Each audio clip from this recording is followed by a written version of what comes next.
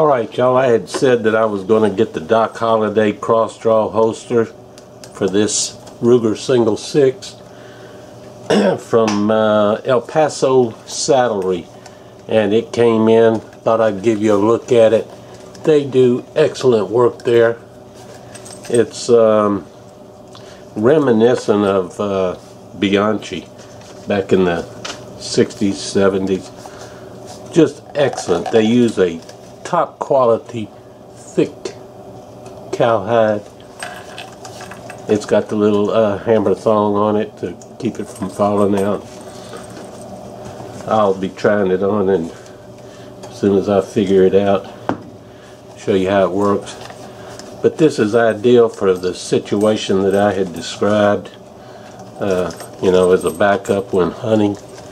Um, it's not a shoulder holster, it's a uh, it's a cross draw and it rides very well around the waist.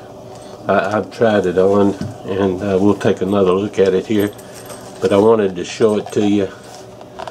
Um, now they're expensive as holsters go uh, with shipping this was like $213 but it's worth every penny of it this will even if I were 20 this would last a lifetime now it's pretty much guaranteed to last a lifetime because uh, I'm no spring chicken.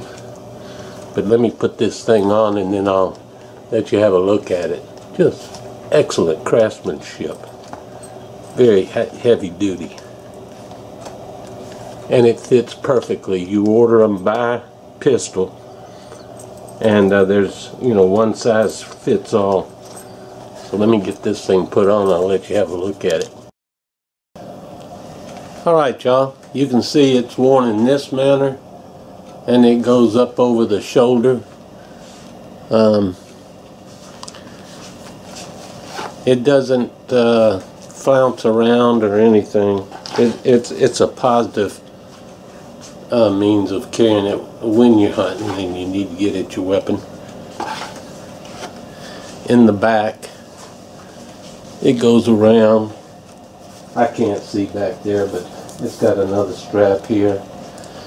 Um, this strap right here, it's got a lot of excess, but it just runs underneath through the, I put it through this little clasp here and it runs underneath so one size fits all you don't order it by waist size but uh, excellent excellent quality and uh, may never need it but if you fail to plan you plan to fail and uh, I like it and uh, with the excess here over bulk clothing in the winter should it be cold.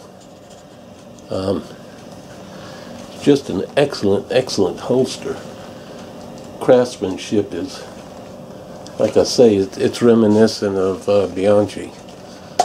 Top class quality there. And uh, again, it handles real well should you desire a cross-draw holster. Uh, they come in right or left and thought I'd let you have a look at it. So if you're uh, interested in something like this, take a look at El Paso Saddlery.